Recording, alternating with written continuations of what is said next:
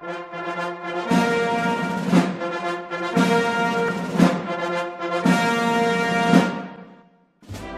fellow Americans, this week I have put into legislation means to make your event great again.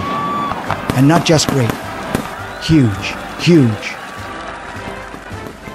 So because you're smart, yes you are, you're smart. You are, you're smart. When you call, I will make your event great again. Greater than great. Tremendous. You'll be asking, please, Mr. President, not so great. We can't take this great. It's so too great for us. So, thank you. No, no, thank you. Thank you. And please pass on my best wishes to your CEO. Very close, very dear personal friend. And a beautiful person, by the way. Wonderful person, great person, and great personal friend.